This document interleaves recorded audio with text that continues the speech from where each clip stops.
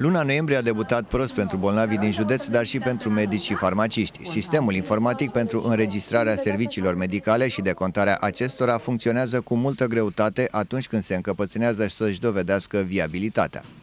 Din data de 1, parcă pe 1 a mers ceva mai bine, dar 2, 3 și astăzi, nu am putut să folosim decât, știu eu, pe apucate, așteptând câte 20-30 de minute la fiecare pacient, nu să se valideze consultația, să, să putem intra în sistem și să putem să facem consultația.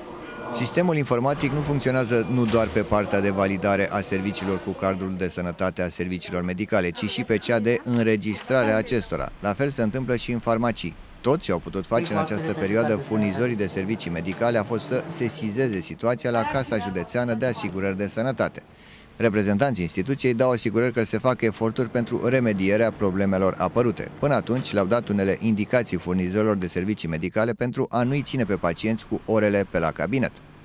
Chiar dacă sistemul la momentul în care pacientul este în fața medicului nu funcționează la parametri normali și nu poate să îl valideze online, această validare poate să se facă și online, offline, ulterior acordării serviciului medical. Este o prevedere legislativă începând cu luna octombrie 2016 Uh, deci nu trebuie să-și facă niciun medic griji că serviciile pe care le dă în aceste uh, zile nu o să fie validate.